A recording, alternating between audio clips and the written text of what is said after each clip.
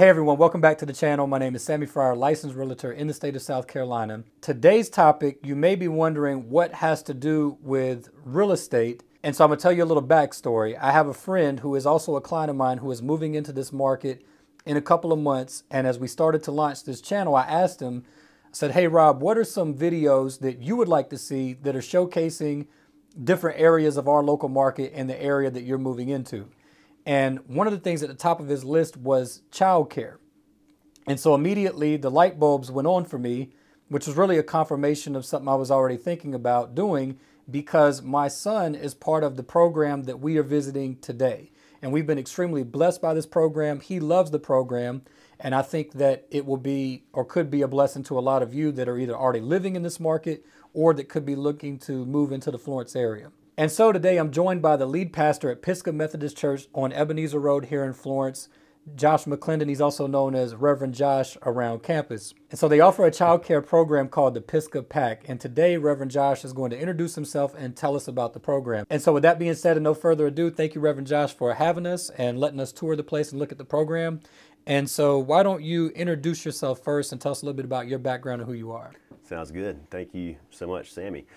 So my name is Reverend Josh McClendon. Um, I've been an ordained minister in the Methodist Church for about 15 years. We've been here in Florence for about five and a half years and just have loved Pisgah and uh, have a lot of different experience in different towns in South Carolina and large city, small town, uh, large churches, smaller churches, um, and across the board, some of our experience with after school care with child care has been just totally positive um, we've loved being involved with that. We have three children of our own, um, a middle schooler and two who are still in elementary school, and two who are actually here in our program in the pack um, with, with your son. And uh, they've loved it. We wanted to offer that not just selfishly for our own need, um, but we think it's a really widespread need in our world, um, and increasingly so as more and more households are dual income, uh, as more and more uh, mom and dad are looking for you know, not just uh, to leave the kids at home or with, with who knows who, but really looking for, for licensed and vetted childcare. And so uh, right away, uh, really from the time I arrived here in Florence, started to talk to church leaders about what we were doing in that realm. Um, part of that for us here at Pisgah is that this northwestern edge of Florence County has really seen a lot of residential growth. Uh, mm-hmm. What was recently, or even still is, rural family-owned farmland and large parcel farmland um, has been increasingly sold, has happened, and subdivided, and uh, we see residential development all around us. And so we know we have that benefit as far as our mission field as a church. There is growth. People are moving to our area, whether to retire, uh, relocate for work. Um, lots of small towns in the Pee Dee have been feeding Florence, and a whole lot of that's happening here in our western side of Florence. Uh, with Lucy T. Uh, Davis Elementary just built a few years ago with Moore, the new Moore Middle School uh, built just a few years ago. We kind of said, how can we serve our people? How can we serve the people right around us? And so again, right away, just kind of popped. Um, we can do more to provide for families with childcare. There are lots of ways we can do that. Um, lots of ways that churches do that.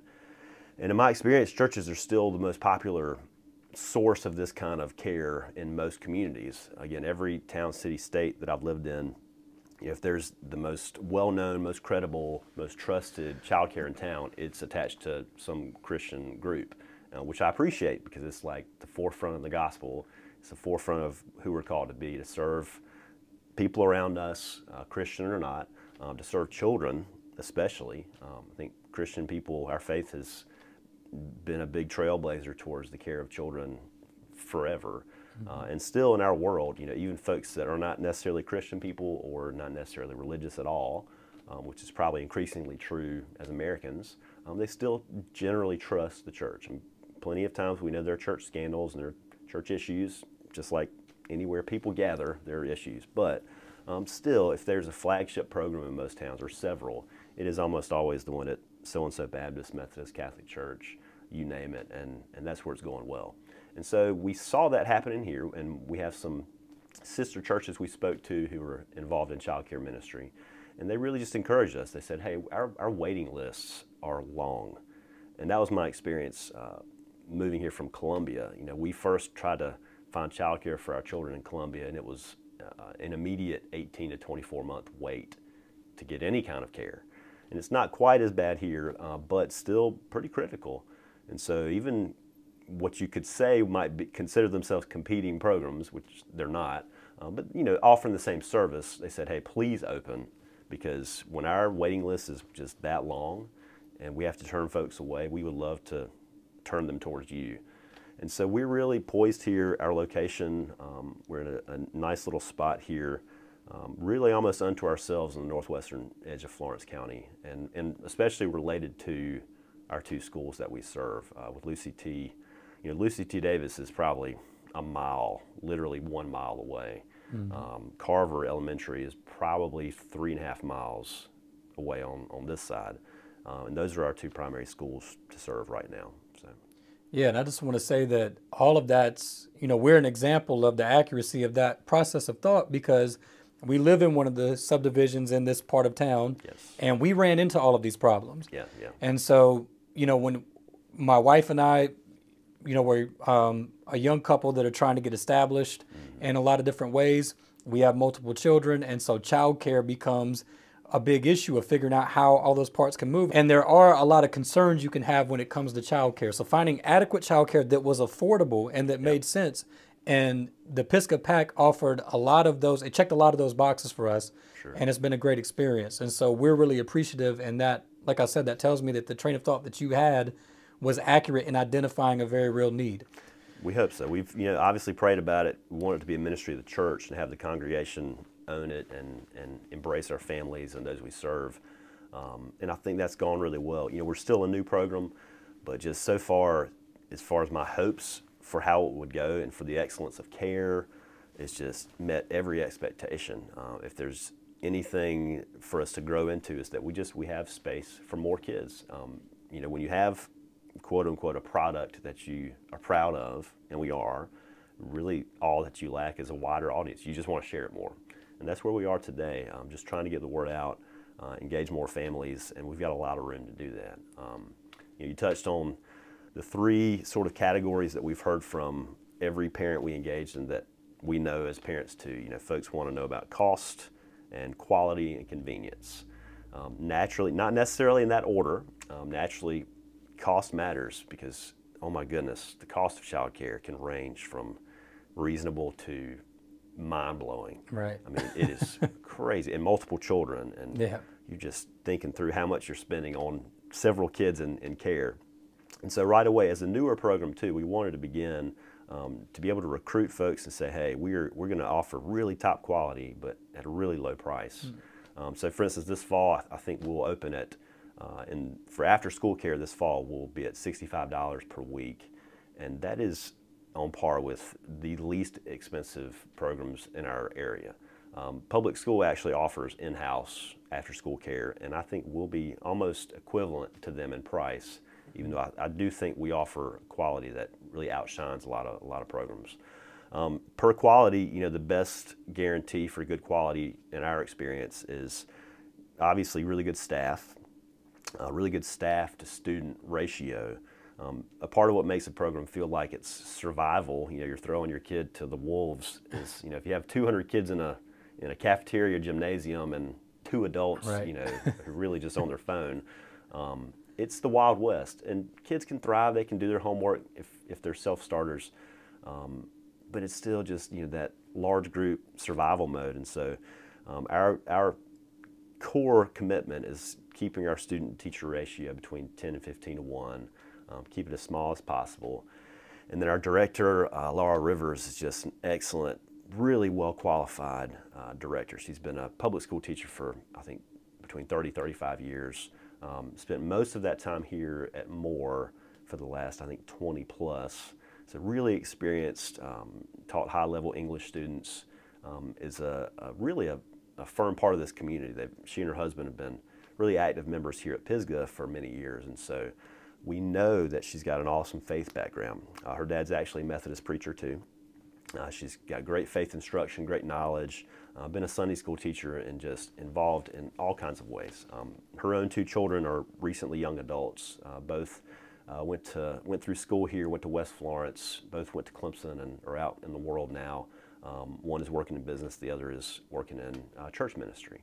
And so just awesome family who have lifelong ties to this area, who have seen all these things too, childcare, after school, uh, elementary, middle school, high school, how does it all work together? Um, and recently, you know, both of these, both of their kids are in their 20s, and so um, just she's an ideal person. Uh, when it worked out for us to hire her, we were incredibly pleased. She's just, again, like you said, checks every box. You know, organized, um, great, socially strong, great at relationship building, um, just a really good leader. And She's great at communication too. She's been really great in communicating with us. So awesome. awesome. Yeah, she was our introduction to the program actually with yeah. Laura. So. So this is a year-round program. So why don't you give us a general overview of the program during the school year and during the summertime? Yeah, so those are our two sessions. Uh, the after-school session when school is in uh, is really Monday through Friday, typically from 2 o'clock to 6 o'clock p.m. Uh, so our uh, Pisgah Pack bus will pick up from uh, nearby elementary schools um, right around 2, 2.15 and then have them back here. Now, parents may pick up obviously at any time once they've arrived, and some do pick them up pretty early. Um, others, they can stay all the way till 6 o'clock. And so that's considered uh, part-time aftercare. Uh, but we are open for full day care anytime parents need it. If there's a, a teacher work day, if there's a half day, we will be open for the duration. Uh, for intersession weeks, uh, we're open full day, so I believe around 7.30 a.m. till 6 p.m. Uh, parents drop off and, and pick up for those full days. Uh, but it's part of what um, we set out to do to provide year-round care. And we don't charge extra for those weeks. It's still just the normal after-school rate. Um, we kind of recoup that, you know, throughout the course of the year in other ways. And so it's just something we want to provide so that, you know, we know if there's working families, if that's a part of why folks want or need the child care, uh, they need that even when there's a teacher work day. Uh, summer session is a little different. Um, it's a little more costly. Uh, the after school sessions are going to be $65 per week. Uh, summer sessions $125 per week, naturally because it's a commitment to full day daycare. Uh, but in the summertime, we will be open for three three week sessions. And again, that's really all day long. I believe 7:30 a.m. until 6 p.m. And so Monday through Friday, all three weeks. Um, you can sign up for one session or all three and have the whole summer covered. Okay, yeah, that's great. And so, what age group is this program for?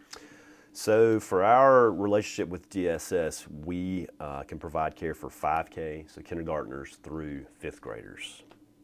Okay, and so you mentioned DSS. Can you tell us a little bit about just any accreditation or credentials? Because a lot of people like myself don't know how all this works, but just the legitimacy of the program, you know, according to the state and sure. any of those elements. Yeah, that was what was new to us as well, starting this from scratch, and we learned a lot. For we really did about a two-year uh, season of study before we got into this. Uh, with DSS, Department of Social Services here in South Carolina, uh, we're considered a part-time exempt program. What that means is that since we're open for just those four hours a day during after school sessions and only open for full days when absolutely necessary when schools are closed, um, then we're quote unquote part time for their needs, um, which means we're also exempt from a whole lot of deeper regulation than, say, a daycare that involves infants, uh, you know, more critical needs and stuff.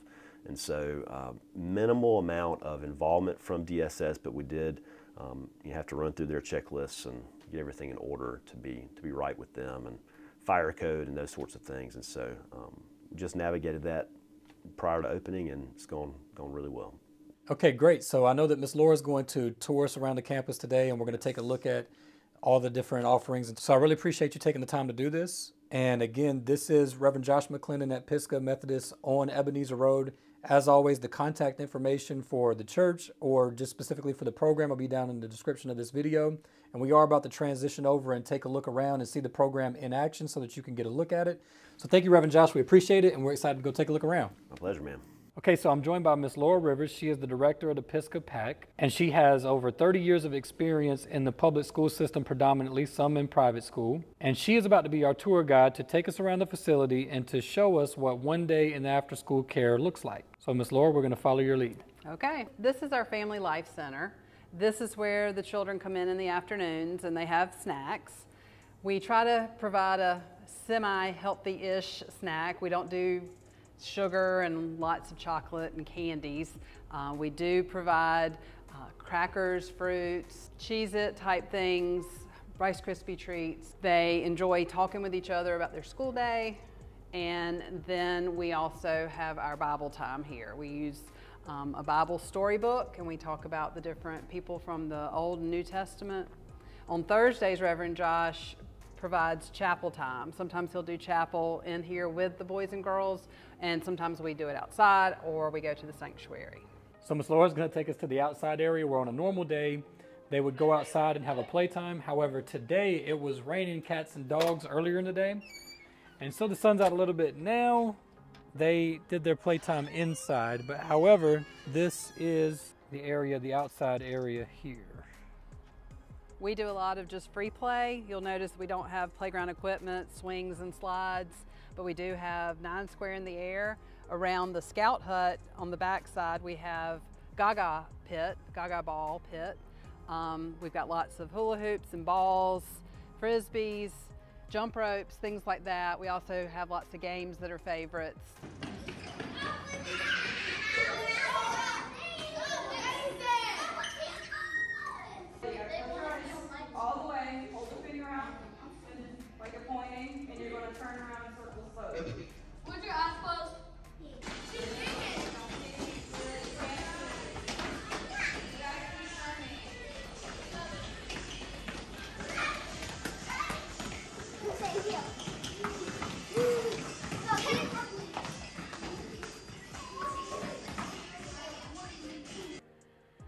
So due to the fact that it rained cats and dogs outside today, they actually had their playtime inside.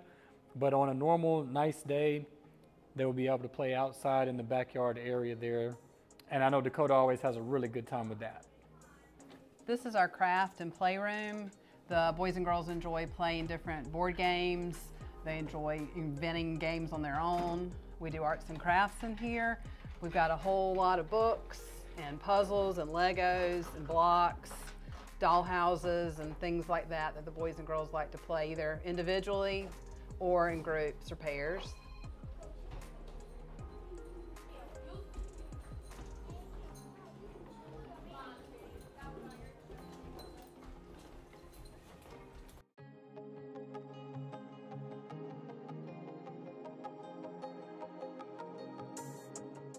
This is our homework room. This is where the boys and girls come to work on any homework assignments that are given to them. So they have time here to get things done before they get home. Make words we know. To allow time for family activities, any kind of sports or dance activities. They usually have about 45, 40 to 45 minutes working in the homework room.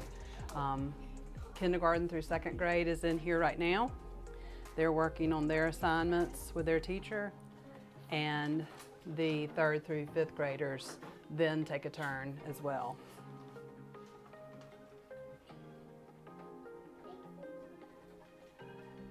Okay, so I know that the first time that I came, I picked up on the emphasis of security. So can you tell us about some of the measures that you guys have taken as far as security goes? Sure, I'm glad to. Um, we know that safety is a very important issue to parents and to us as a church.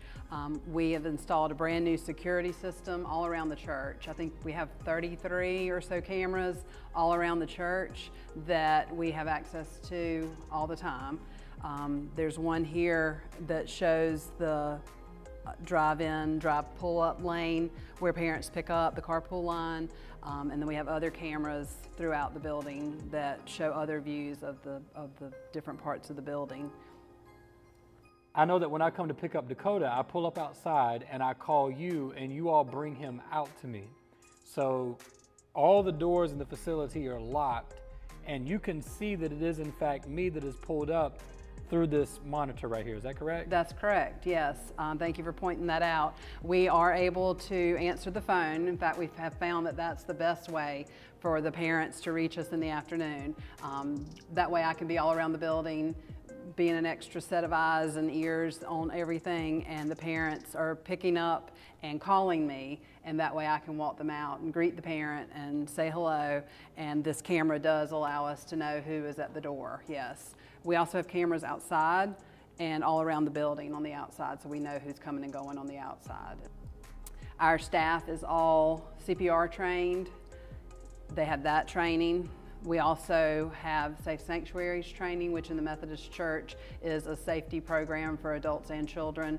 Um, our children are not ever just one teacher, one adult. We always have at least two teachers with one child um, when the numbers get smaller. So that's all really good information. I know that's something that I appreciated a lot. And so I know that at our church we have to run background checks for everybody that's involved with any minors. So do you guys do full background checks for your staff? Yes, we certainly do. Full background checks as long as well as the other training that I mentioned, safe sanctuaries and um, CPR training and other things just to make sure everybody's safe and everything's above board. So I know that the bus picks up from a couple different schools. So can you just tell us where the transportation is provided and then just go over the schedule of the program and the rates for us one more time? Sure, I'll be glad to. Right now our program picks up from Lucy T. Davis Elementary School and Carver Elementary Schools. Um, our rates right now, we're running um, $65 a week with a $50 registration fee per child. And then during the summer, we'll be open from 7.30 until 6, and that rate is $125 a week and a $50 registration fee per child. We provide two snacks on full days and then one snack on the regular after school days. Okay, thank you so much, Miss Laura. I appreciate you touring us around. Thank you for coming. All right, so this is Dakota. So Dakota, I want you to tell me, do you enjoy being part of the Pisgah Pack after school and what do you like the most about it? So I I really do like being a part of Pack. It's a really fun place to be. People are nice and there's a lot of friends that you can make and all the people are nice. It's a very good place to learn and there's a lot of help around you. Great. So again, this is the Pisgah Pack. It's Mount Pisgah Church on Ebenezer Road. Their phone number, as you can see, is there, but I will put all their information down in the description. This is my son Dakota, and I can honestly say that this program has been a blessing to our family, and we hope that it will be a blessing to yours. I think they're doing a really great job here. So with that being said, if you found this video valuable, please give the video a like and subscribe to the channel so that you can stay up to date of future information about real estate in the state of South Carolina and information about our local market such as this video. And in the meantime, y'all take care and we'll see you soon.